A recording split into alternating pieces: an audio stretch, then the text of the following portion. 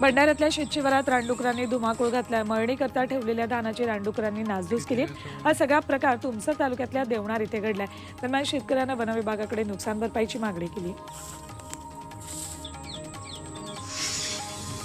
हवामानातल्या बदलामुळे फळपीक उत्पादनावर परिणामाची शक्यता आहे. दिवाळीपूर्वी गुलाबी थंडीची चाहूल लागते मात्र हवामान ऋतुचक्रात मोठा बदल झाल्यानं यंदा फळपिकाबाबत बागायतदार चिंता व्यक्त करतात.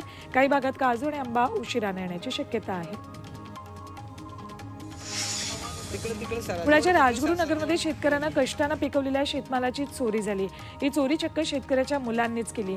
त्यांनी सोयाबीनवर पाळत ठेवून चोरी करत त्याची विक्री केली आणि त्यातून आलेल्या पैशांनी मौज मजा केली.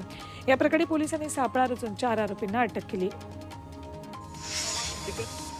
मुंबई पुणे एक्सप्रेसवेवरील प्रवास अधिक वेगवान होणार आहे. एक्सप्रेसवेवरच्या रुंदीकडाचं काम सुरू झालंय. सहा लेनचा एक्सप्रेसवे आता आठ लेनचा होतोय.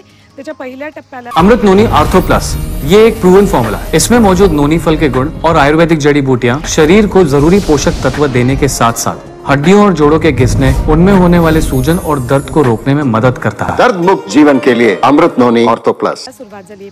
महामार्ग रुंदीकडाच्या पहिल्या टप्प्यात शक्य आहे तिथे आठ लेनचा रस्ता तयार करण्यात येतोय. ख्रिसमस निमित्त गोव्याला जाणाऱ्या रेल्वे प्रवाशांसाठी कोकण रेल्वेनं बावीस डिसेंबर ते दोन जानेवारी दरम्यान विशेष गाड्या सोडण्याचा निर्णय घेतलाय. या गाड्या सीएसएमटी ते करमाळी पुणे जंक्शन ते करमाळी आणि करमाळी ते पनवेल या स्थानकांदरम्यान धावणार आहेत. नागपूर ते पुणे सुपरफास्ट एक्सप्रेस आजपासून सुरू होते. सुपरफास्ट एक्सप्रेसचा सोळा स्थानकांवर थांबा असेल. प्रवाशांची वाढती संख्या पाहता सुपरफास्ट एक्सप्रेस सुरू करण्याचा निर्णय घेण्यात आला होता.